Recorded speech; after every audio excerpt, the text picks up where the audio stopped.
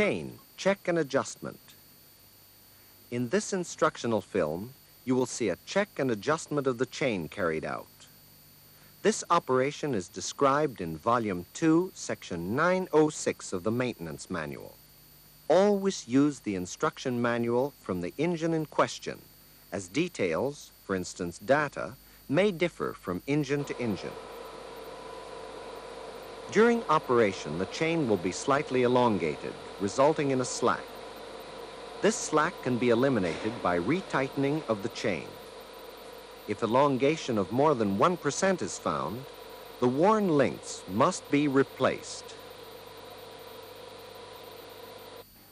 Before work may begin, the following safety precautions must be taken.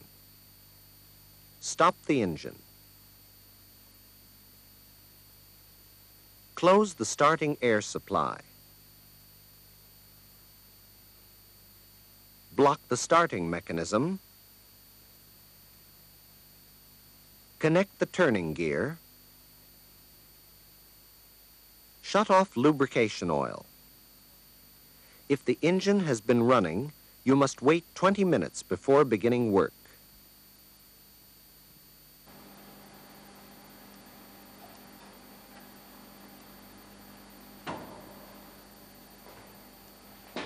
Then open the crankcase cover on the chain housing and secure it with the pin.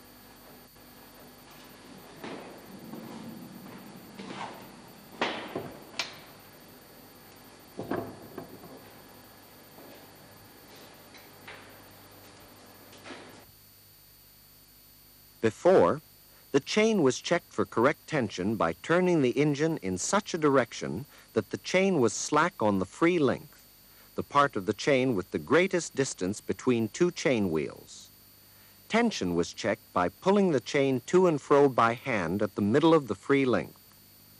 Normally, the chain should in this way be able to be moved away from the guide bars corresponding to the length of one half or one chain link. Nowadays, however, we recommend that the chain be routinely adjusted at least every 4,000 hours.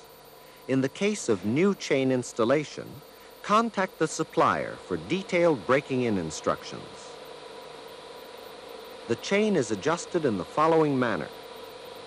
Begin by turning the engine in such a direction that the chain is slack on the same side as the chain tightener wheel. This means that the engine is turned in the opposite direction from the one shown earlier.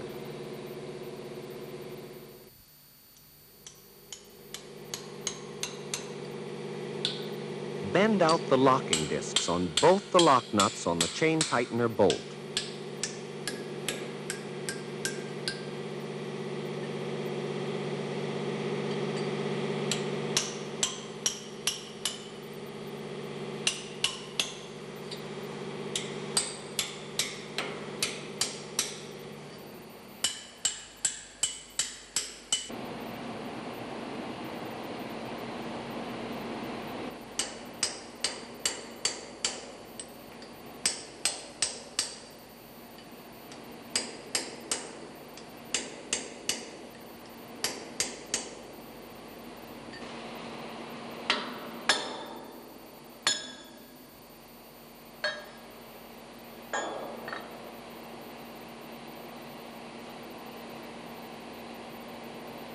Loosen the lock nuts and nuts so that the chain tightener bolt is free. Begin with the lower nuts and then loosen the upper nuts far enough to give sufficient clearance for the tightening.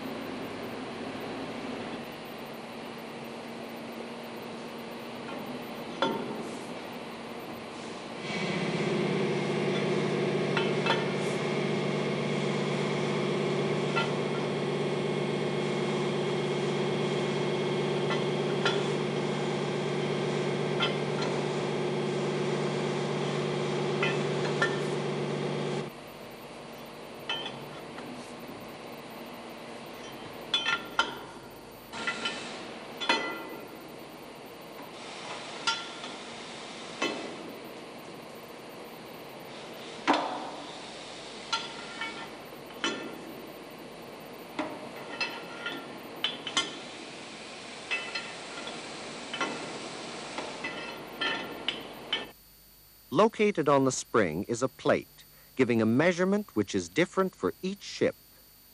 The same information is written down in the Maintenance Manual, Volume 2, Section 906. Make a note of this measurement. The plate on the engine in this film shows that the spring's free length as new was 188.5 millimeters, and when compressed it was 168 millimeters. The difference between a free and a compressed spring being 20.5 millimeters. It is this measurement which is important. With every future adjustment of the spring, this distance, 20.5 millimeters, must be maintained between the free and the compressed states. When the spring in this film was checked, it was found that the free length was no longer 188.5 millimeters. Instead, it was 187 millimeters.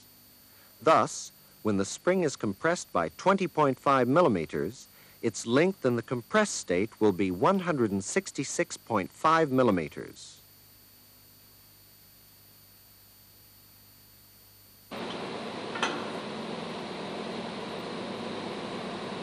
Tighten the lower nut until the spring has been compressed to the correct length. In this case, 166.5 millimeters.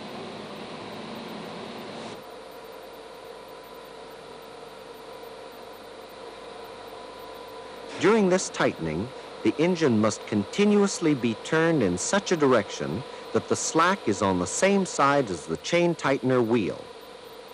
The chain tightener bolt will move downwards, and the chain is tightened to the correct tension.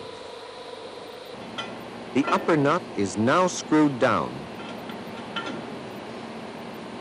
While checking that the spring is not compressed further, as this can cause a reduction of the chain tension.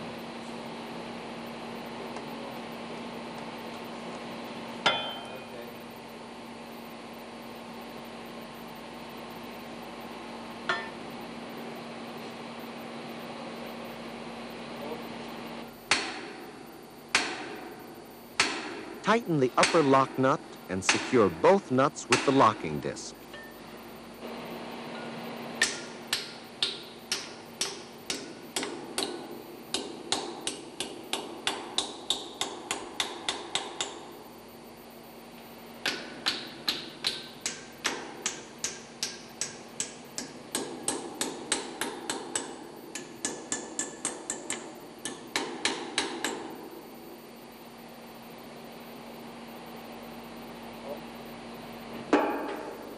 The chain tightener bolt is now to be locked.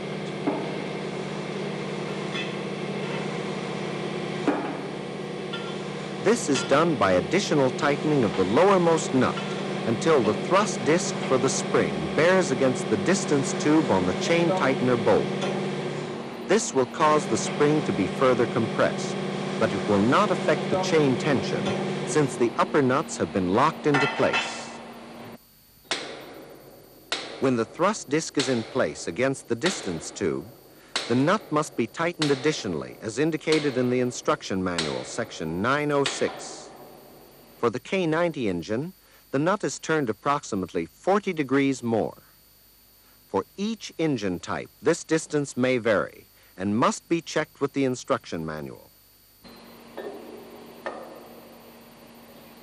Finally, in order to lock the chain tightener bolt, the lower lock nut is tightened and both nuts are secured with a locking disc.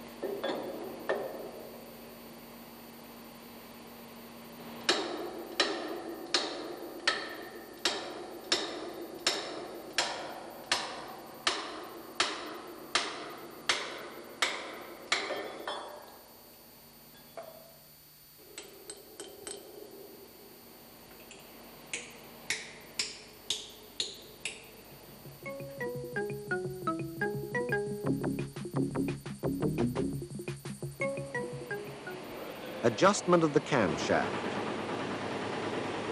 During running, the chain will be worn and elongated. This will cause the camshaft to move out of adjustment. Therefore, regular checks of camshaft adjustment are necessary. If the change in camshaft adjustment does not exceed 2 degrees, it can be compensated for by adjusting the fuel pumps. This operation is described in Volume 2, Section 909 of the Instruction Manual. However, if the change exceeds 2 degrees, the camshaft must be adjusted to ensure correct timing of the engine.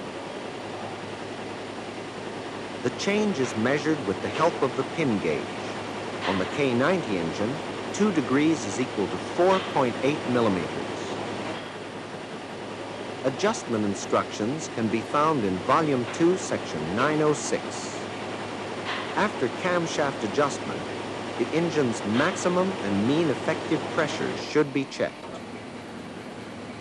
Again, for the safety of those working on the engine, the following procedure must be carried out. Stop the engine. Close the starting air supply.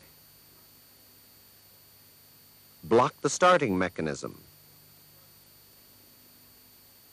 Connect the turning gear.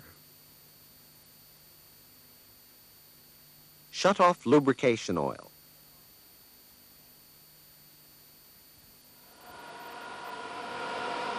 Turn the engine until the marking on the turning wheel indicates that the piston in cylinder number one is at top dead center.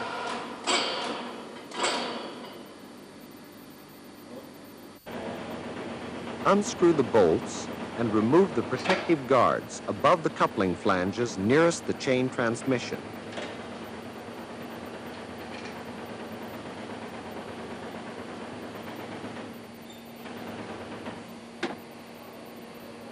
Unscrew the three plugs closing the hydraulic tool connections on the coupling flange.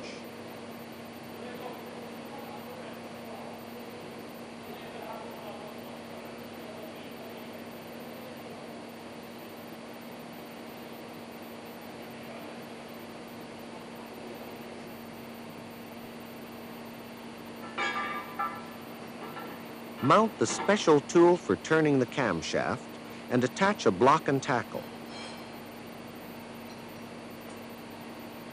Notice that the tool fits over two of the coupling flange bolts.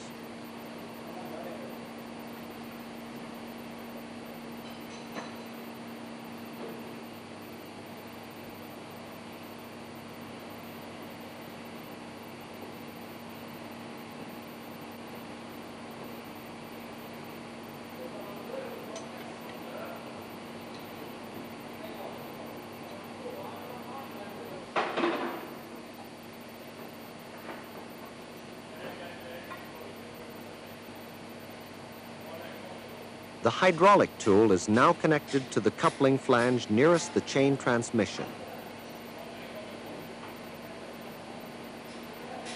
Hydraulic oil can be led through channels to the joint between shaft and coupling flange, hereby releasing the connection. Apply pressure to the hydraulic tool until oil trickles out between the shaft and the flange. Oil pressure should be supplied during the complete adjustment.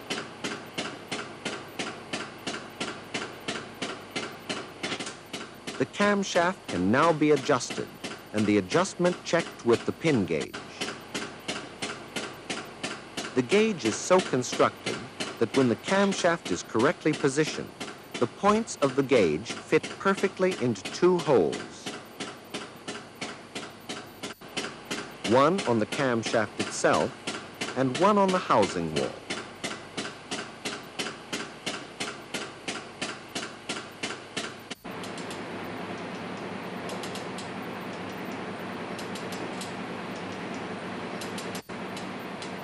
Using the block and tackle, the camshaft is turned until the gauge fits perfectly into the holes.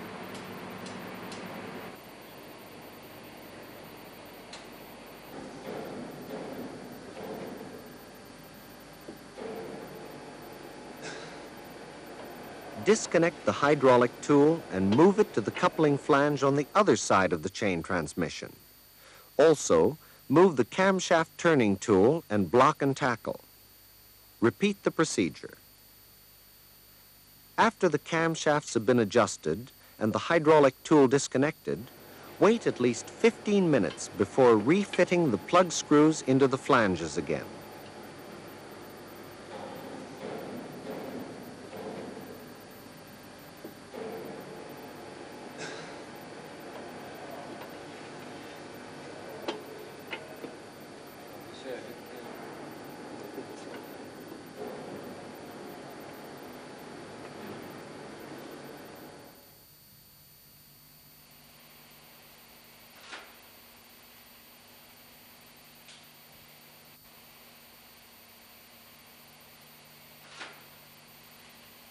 Remount the protective guards.